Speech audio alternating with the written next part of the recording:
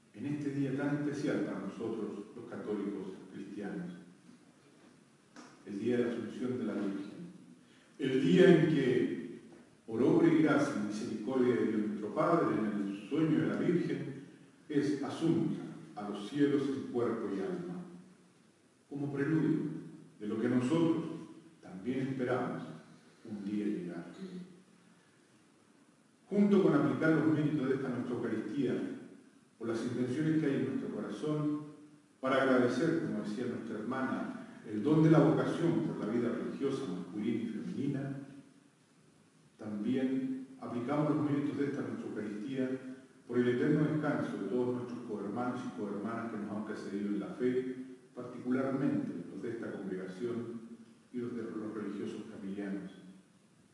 Aplicamos también por el eterno descanso de Gloria Navia,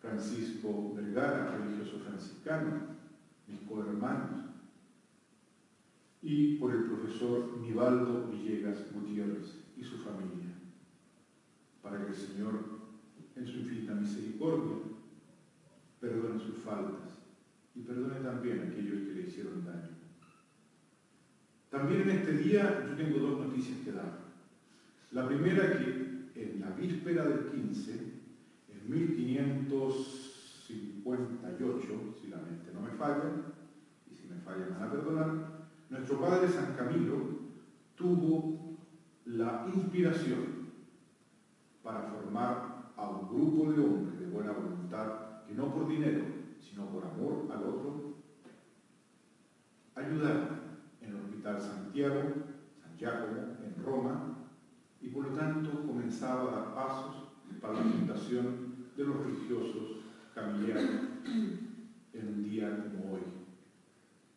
Y también en un día como hoy, yo creo que esta hora, un poquito más, pero en Colombia en estos momentos van a ordenarse tres cohermanos nuestros de sacerdotes. Por lo tanto, también para nosotros es un motivo de mucha alegría.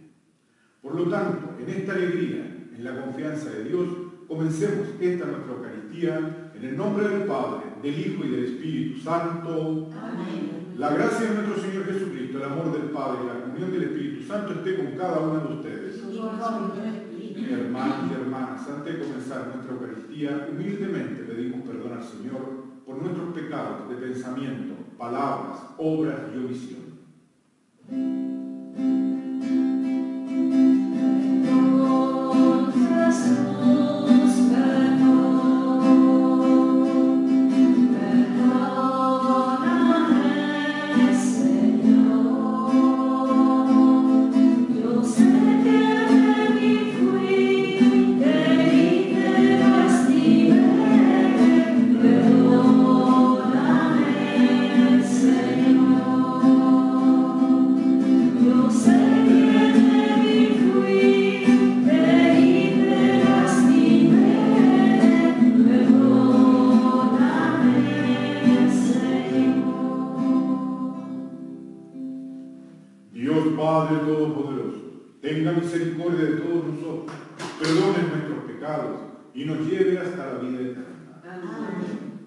Unidos a los coros angélicos, proclamamos la gloria de Dios, Padre, Hijo y Espíritu Santo.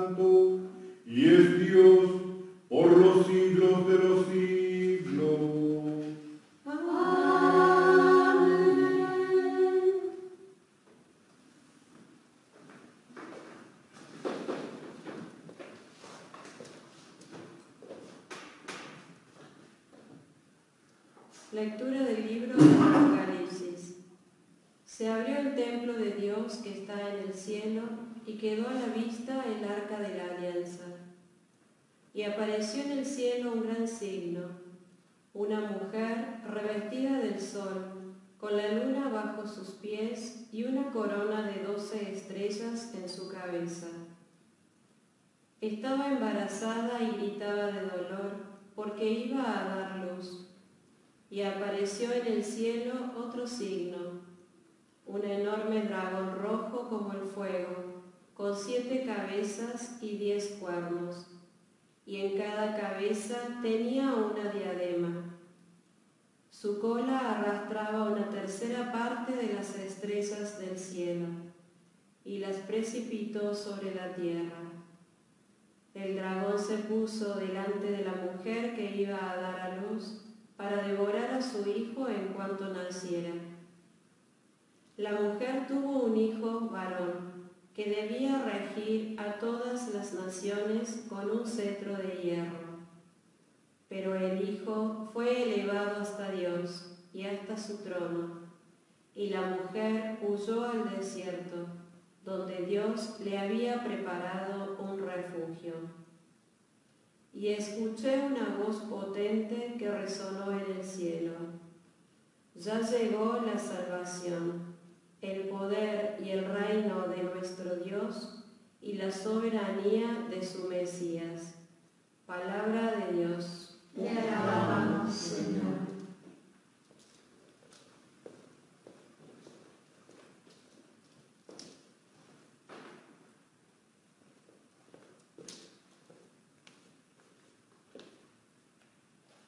De pie a tu derecha está la reina, Señor. Pie a tu derecha está la reina, Señor. Una hija de reyes está de pie a tu derecha. Es la reina adornada con tus joyas y con oro de Ofir. De pie a tu derecha está la reina, Señor. Escucha, hija mía, mira y presta atención.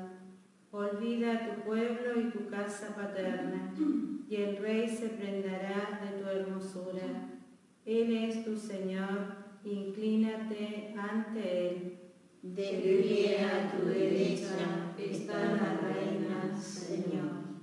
Las vírgenes van detrás, sus compañeras la guían, con gozo y alegría entran al palacio real. De pie a tu derecha está la reina, Señor.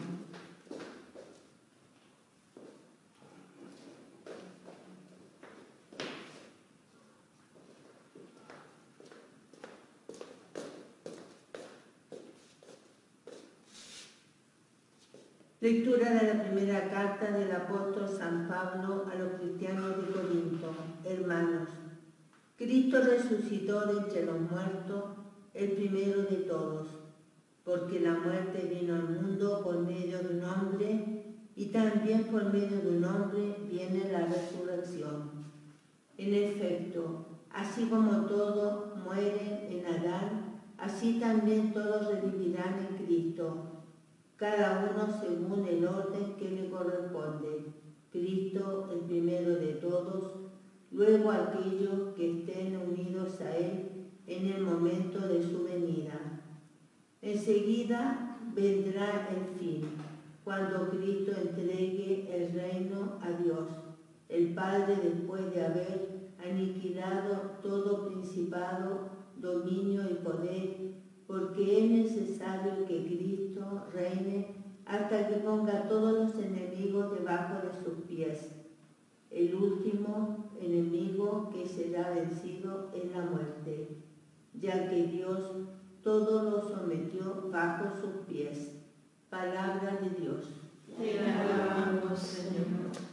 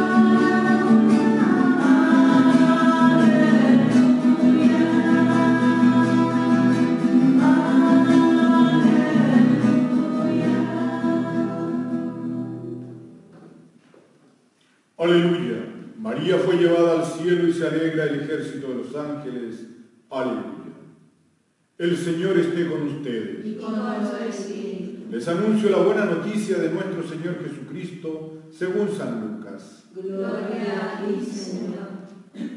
María partió y fue, y fue sin demora a un pueblo de la montaña de Judá. Entró en la casa de Zacarías y saludó a Isabel. Apenas ésta oyó el saludo de María, el niño en su vientre se alegró. E Isabel, llena del Espíritu Santo, exclamó, Tú eres bendita entre todas las mujeres y bendito es el fruto de tu vientre. ¿Quién soy yo para que la madre de mi Señor venga a visitarme? Apenas oí tu saludo, el niño saltó de alegría en mi vientre. Feliz de ti por haber creído que se cumpliera lo que fue anunciado de parte del Señor por los profetas. María entonces le dijo, mi alma canta la grandeza del Señor mi espíritu se estremece de gozo en Dios mi Salvador, porque Él miró la bondad de la pequeñez de su servidora. En adelante, todas las generaciones me llamarán feliz, porque el poderoso ha hecho obras grandes. Su nombre es santo.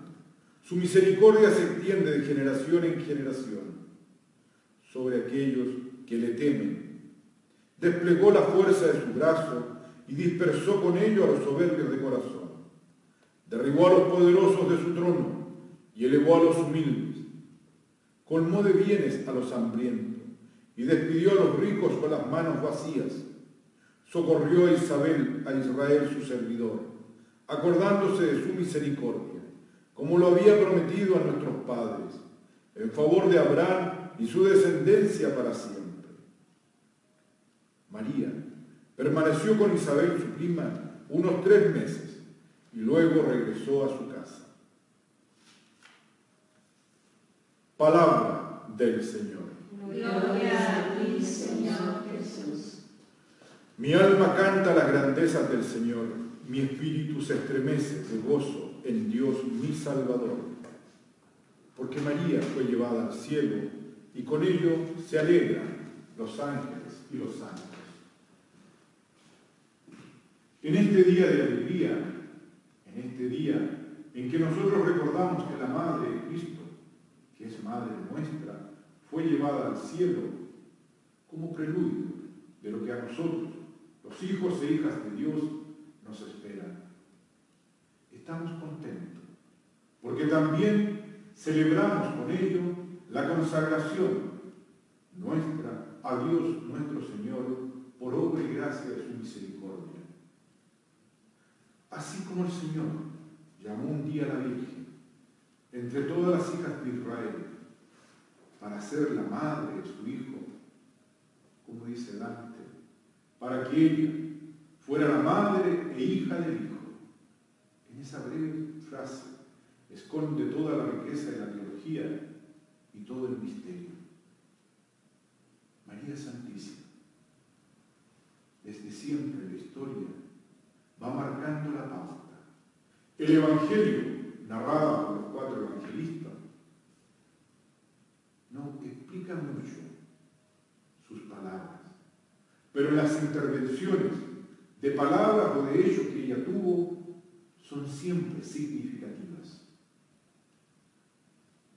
En este Evangelio que nos narra la visita de ella a su prima Isabel, vieja y ya preñada, va a servir. Viaja, va de un pueblo a otro para servir, para acompañarla, para contenerla, para ayudarla. Ese es el servicio que ella sabe en su corazón que el Señor la llamó. Y empieza desde ya a preparar su vida en la consagración a la iglesia, primero a su hijo y luego a su iglesia. En este Evangelio nos narra toda la riqueza de la vida y del ser de la Virgen. Ella se sabe humilde, sabe que el Señor la llamó Sabe que el Señor la llamó a consagrarse para ser ni más ni menos realidad de la promesa que por siempre había hecho a su pueblo y más aún a la humanidad. En ella comenzaba el plan de salvación a desarrollarse. María Santísima, obediente al Señor, escucha y da su sí ese sí que trasciende toda la historia humana, ese sí que retumba hasta hoy día y que por eso que nosotros, sus hijos, le agradecemos en Dios nuestro Señor. La Madre de Cristo, que desde la cruz el Señor nos da y con ese dolor de ver a su Hijo morir, acepta como buena madre a todos nosotros, y a los que existiremos, en su corazón como madre. No puede hacer otra cosa, porque una madre siempre sabe las necesidades de su hijo. Y por eso es que, viendo la impotencia del hijo y el amor de él, de dejarnos, por poco tiempo, pero dejarnos, nos deja el cuidado de su madre quien por 33 años le cuidó, le protegió, le acompañó, le orientó, le escuchó. Todos los que hemos tenido madres sabemos que son así. Tienen en su corazón un caudal infinito de amor que lo van plasmando día a día. Hoy a las 12 contaba una historia que me, me acordé que contaba un fraile que decía que va San Pedro y le dice al Señor, Señor, tengo un reclamo que hacerte. ¿Cuál le dice? Tú me diste la potestad de abrir y cerrar las puertas del cielo. En mis manos depositaste las llaves. Y yo, yo he visto aquí adentro muchos que yo no les he dado la entrada. Entonces vengo a saber qué está pasando. Y el Señor le dice, no lo sé, vamos a averiguarlo. Pasan unos días y va San Pedro y le dice, Señor, ¿y lograste averiguar qué pasa aquí? Y el Señor, le dice, sí. Lo que pasa es que cuando tú te descuidas, mi madre abre la puerta. Y allí no hay mucho que hacer. Y es así. Es una historia, obviamente, pero es así. La madre en su corazón siempre. No ve la maldad de los hijos. Aun cuando la sabe, sabe perdonar, sabe acoger, sabe acompañar. Porque en el corazón de la madre hay siempre amor. Siempre. Porque el amor de Dios radica en el corazón de la mujer que actúa como madre, la Virgen Santísima, con gran dolor, acompaña a todos en el momento en que el Hijo está muerto para el mundo. Ella, desde allí, acompaña a sus discípulos. Desde allí no se separa de ellos.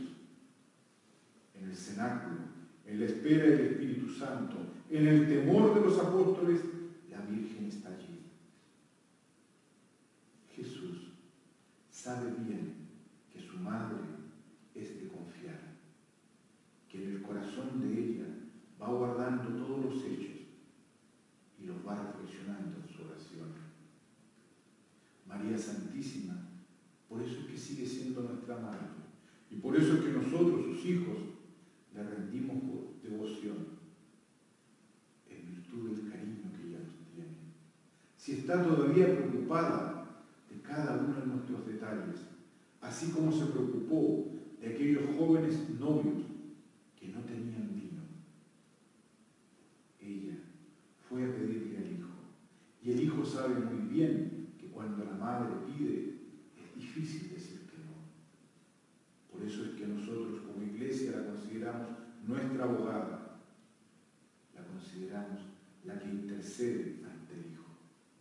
Porque el Espíritu de Dios que nos impulsa a gritar Abba está en su corazón. Hoy celebramos que ha sido asunta y con ello celebramos que también nosotros, por misericordia de Dios, simplemente, también un día el Señor vendrá, como nos recuerda Pablo, a estar con nosotros, con sus hijos e hijas, con su iglesia, con aquellos que hemos sido fieles y que por misericordia de Dios obtendremos el premio, más que premio, el regalo de la vida eterna. Hermanas, en este día hermoso, también yo quiero recordar brevemente a los familiares del padre, del profesor Nivaldo, que siguen con su dolor y que es normal, que está humanamente entendible. Pero solo hacer una pequeña reflexión. María Santísima estaba dolida veía en la cruz a su Hijo, inocente de cualquier culpa. Más allá de que las madres nunca ven culpabilidad a los hijos, este sí que era inocente. Y estaba pagando las culpas de todos nosotros. Estaba siendo humillado. La madre en su corazón estaba destrozada. ¿Cómo no? Si solo una madre sabe entender el dolor de un hijo. Si solo una madre sabe comprender lo que está pasando. Y en ese dolor, el hijo le pide que nos acepte a todos nosotros como hijos, que sea nuestra madre. En ese dolor, ella acepta. Y con ello debe perdonar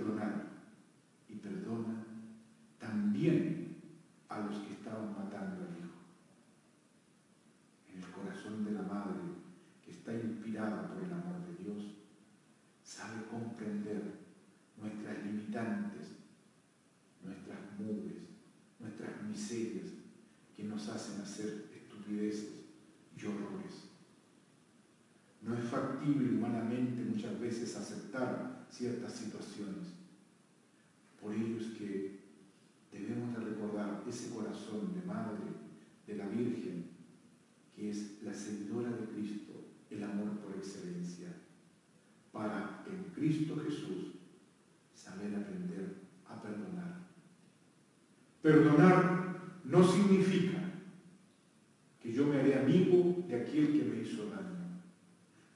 perdonar significa que yo me libero, yo me libro de aquel lastre que provoca en mi corazón malestar y que de allí al odio en un paso.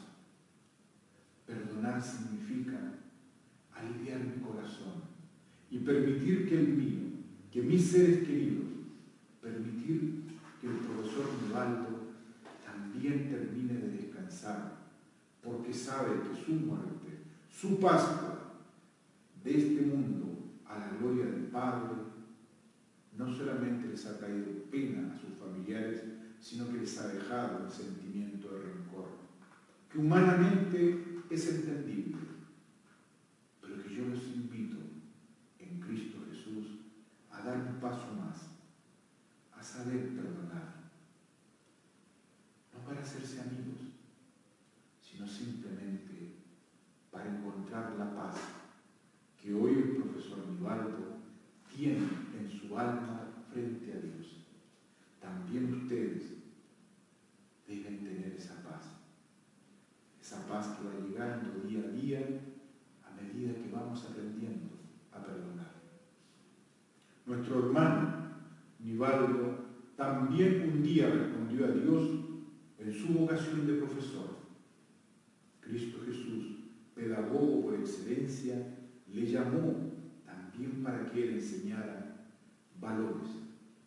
previous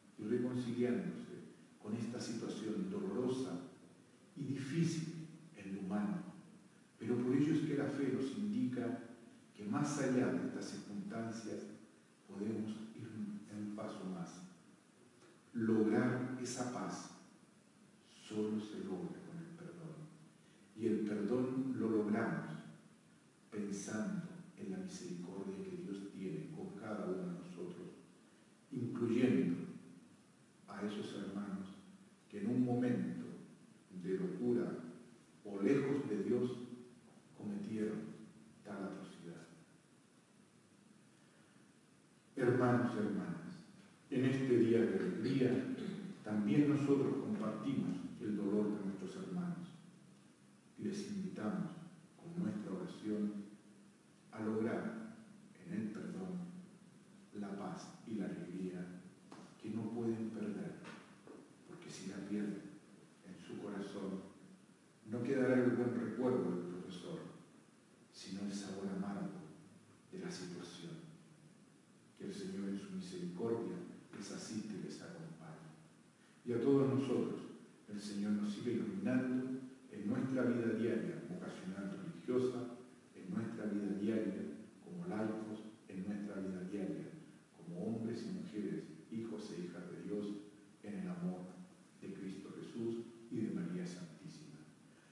Cristo Jesús, Señor de nuestra vida, sea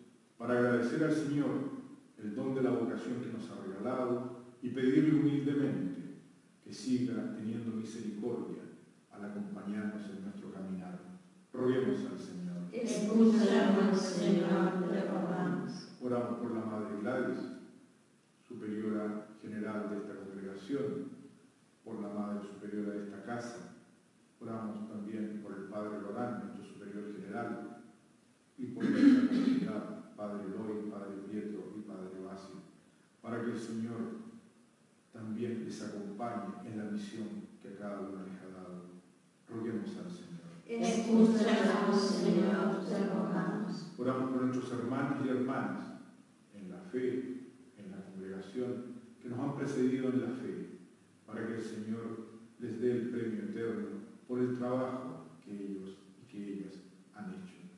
Roguemos al Señor. Escúchanos, Señor, te rogamos. Por nuestros familiares, nuestros amigos, los profesores y profesoras que han trabajado y que trabajan en este lugar, para que el Señor les siga acompañando cada día. Roguemos al Señor. Escúchanos, Señor, te rogamos. Oramos por el eterno descanso de nuestros hermanos, nuestra hermana Gloria Devia, por el hermano Francisco Vergara, religioso franciscano, y por el profesor Nivaldo Villega, para que Dios en su infinita misericordia les dé el descanso eterno. Roguemos. Cada uno de ustedes en su corazón tiene mucho que agradecer al Señor y necesidades que presentarles, personales y comunitarias.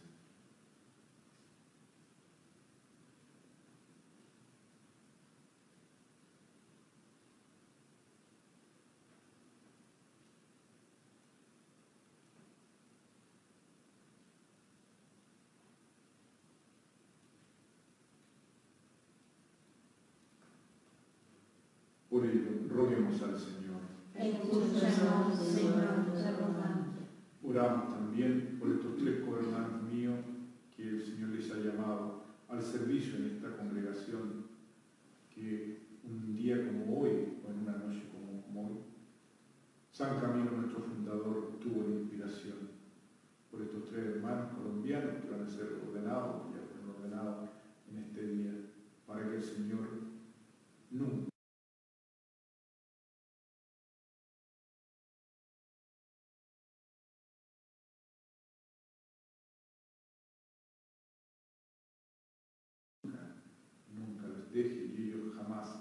abandonen la vocación que el Señor les ha dado, que sigan perseverando y que no saquen su cabeza de la mano protectora del Señor. Roguemos al Señor. Escúchanos, Señor, tu Tú que puedes todo.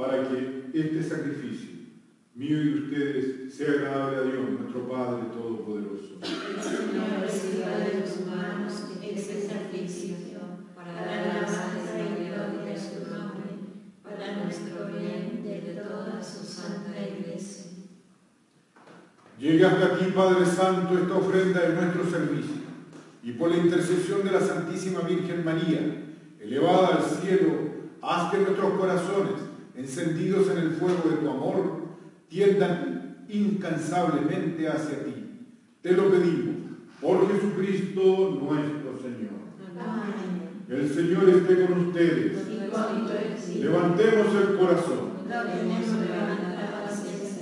Demos gracias al Señor nuestro Dios. En verdad es justo y necesario nuestro deber y salvación. Darte gracias siempre y en todo lugar, Señor, Padre Santo, Dios Todopoderoso y Eterno, por Cristo, Señor nuestro. Porque hoy fue elevado al cielo la Virgen Madre, como anticipo a imagen de la perfección que alcanzará tu iglesia. Garantía de consuelo y de esperanza para nosotros, tu pueblo peregrino. Con razón, tú no quisiste que ella sufriera la corrupción del sepulcro, ya que había engendrado en el seno a tu Hijo, el autor de la vida. Por eso, unidos a los ángeles, te alabamos lleno de alegría, diciendo sin cesar.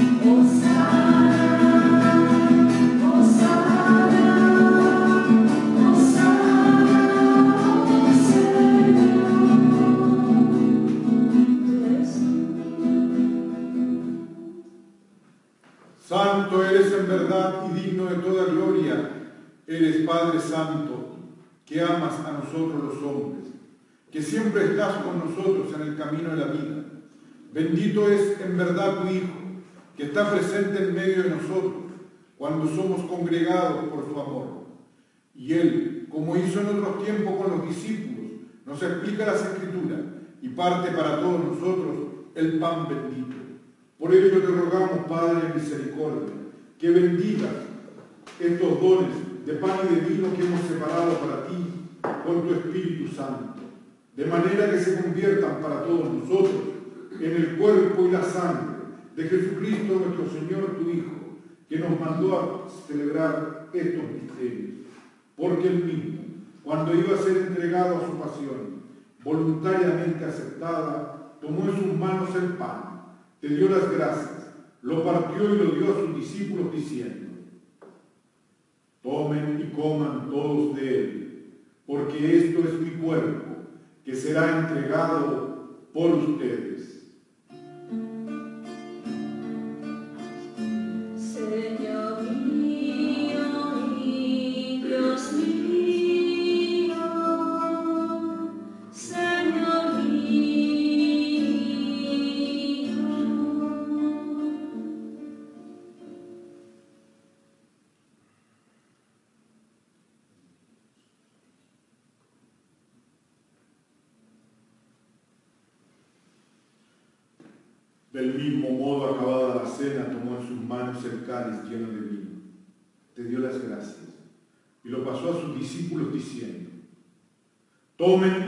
Todos de él, porque este es el cáliz de mi sangre, sangre de la alianza nueva y eterna, que será derramada por ustedes y por muchos, para el perdón de los pecados. Hagan esto en conmemoración mía.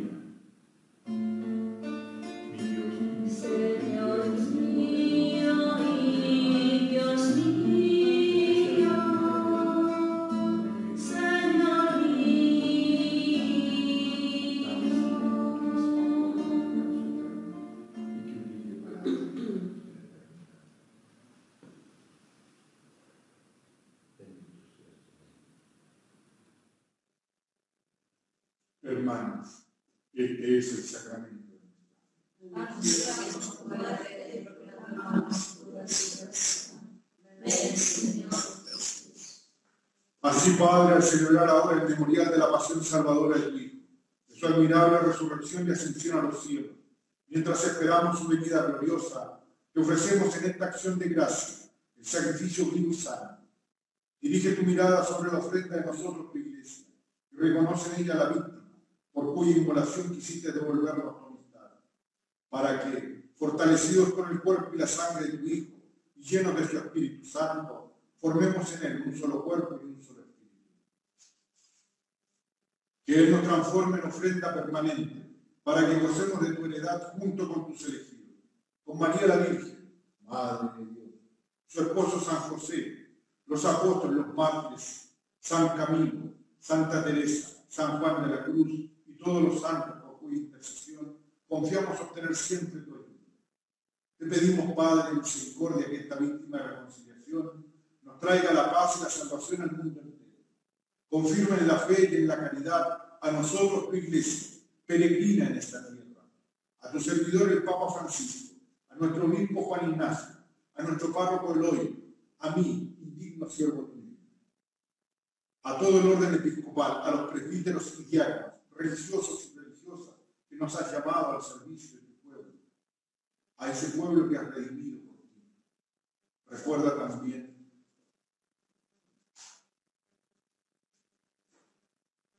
Atiende los deseos y súplicas de nosotros, tu familia, que nos has congregado en tu presencia, en el domingo, día en que Cristo ha vencido a la muerte y nos ha hecho partícipes de su vida inmortal.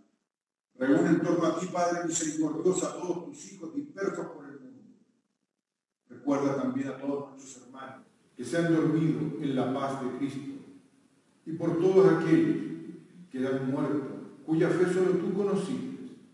Admítelos a todos a contemplar la luz de tu rostro y darles la plenitud de la vida en la resurrección. Y cuando termine nuestro camino por este mundo, concédenos también por tu misericordia llegar hasta la morada eterna, donde viviremos siempre contigo, y allí, junto a María Santísima, Madre de Dios, su esposo San José, los apóstoles, los mártires y los santos, San Camilo nuestro Padre, Santa Teresa, San Juan de la Cruz, y en comunión con todos los santos, te alabemos y te glorifiquemos por Cristo, Señor nuestro.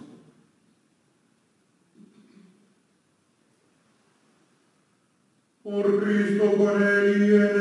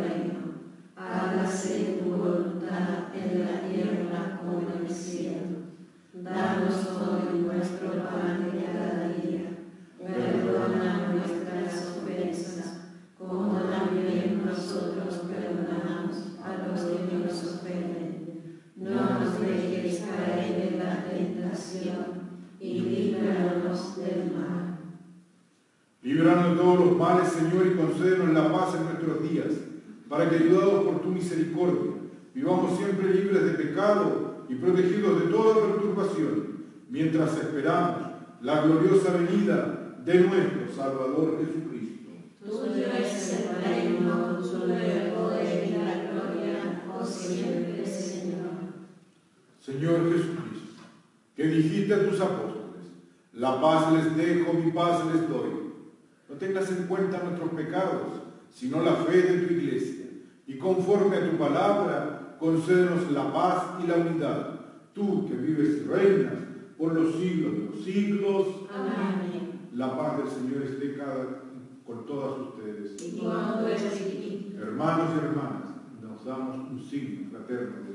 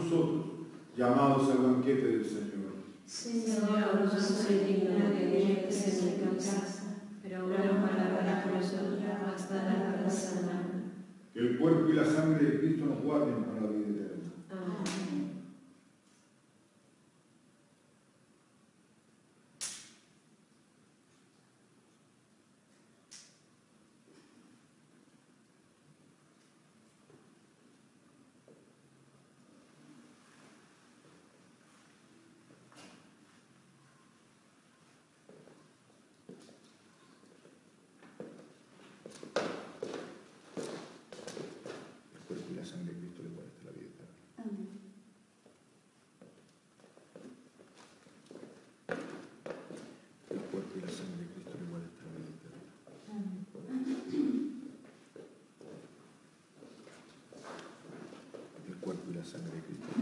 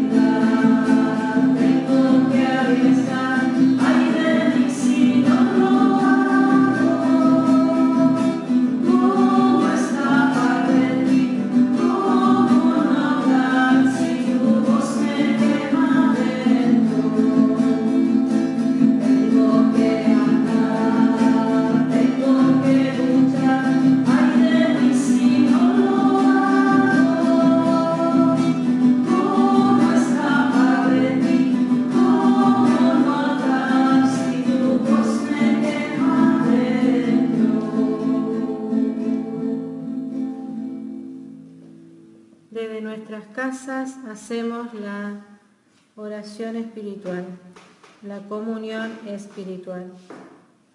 Creo, Jesús mío, que estás realmente presente en el cielo y en el santísimo sacramento del altar. Te amo y te adoro profundamente y quisiera recibirte, pero no pudiendo hacerlo ahora sacramentalmente, ven a mi corazón y como si ya te hubiera recibido, me uno y me consagro todo a ti. No permitas, Señor, que jamás me separe de ti. Amén.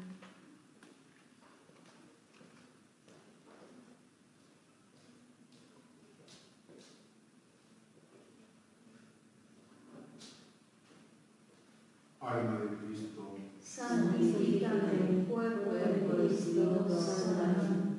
Sangre de Cristo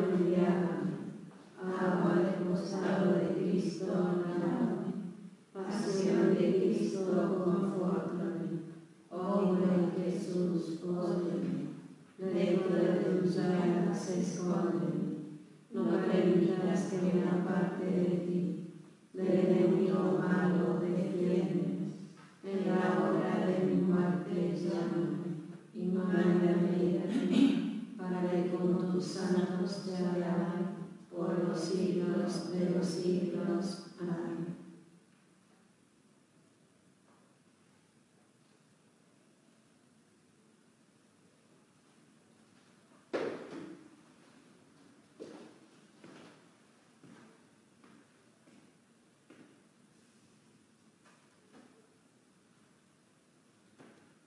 Todas las generaciones me llamarán feliz, porque el Todopoderoso ha hecho obras grandes. Su nombre es santo. Oremos. Hemos recibido, Padre Santo, el sacramento de la salvación. Te pedimos humildemente que por la intercesión de la Santísima Virgen María, elevada al cielo, alcancemos la gloria de la resurrección. Te lo pedimos por Jesucristo nuestro Señor. Amén. Bajo tu amparo. Nos acogemos, Santa Madre de Dios, no desprecies las oraciones que te dirigimos en nuestras necesidades. Antes bien, líbranos de todo peligro, oh Virgen gloriosa y bendita. El Señor esté con ustedes. Y con tu espíritu. Que el Señor les bendiga y les guarde. Amén. Que el Señor tenga misericordia de ustedes y les muestre su rostro. Amén. Que el Señor sea benigno y les dé la salud del alma y del cuerpo. Amén. Y la bendición de Dios, que es Padre, Hijo y Espíritu Santo, descienda sobre cada uno de ustedes y permanezca en vuestros corazones. Amén. Antes de con- concluir, junto con dar gracias a Dios por celebrar esta Eucaristía, para recordar nuestra vocación religiosa, agradecer también a esta comunidad religiosa que gentilmente nos ha acogido y eh, transmitirles el saludo de Padre Eloy, nuestro párroco, que en este día nos manda una bendición especial y muchas felicidades. ¿no? Y eh, mañana sería a las 10 y media o a las 11, a las 10 y media en este mismo canal nos estaremos juntando. ¿no? Estamos vivos. ¿Qué otra cosa más? Y mandarles de verdad un cariñoso saludo a todos los familiares del profesor Vivaldo, eh, que el Señor está con ustedes y que el Señor les fortalece y les acompaña. Eh, hermanos, nuestra Eucaristía ha terminado, podemos seguir en la paz y en la alegría del Señor. Demos gracias a Dios. Como decía Padre Hurtado, la misa continúa en nuestra vida, en nuestra acción, en nuestro amor. Podemos estar y seguir en la felicidad del Señor. Feliz día de la vida consagrada. Padre. Gracias.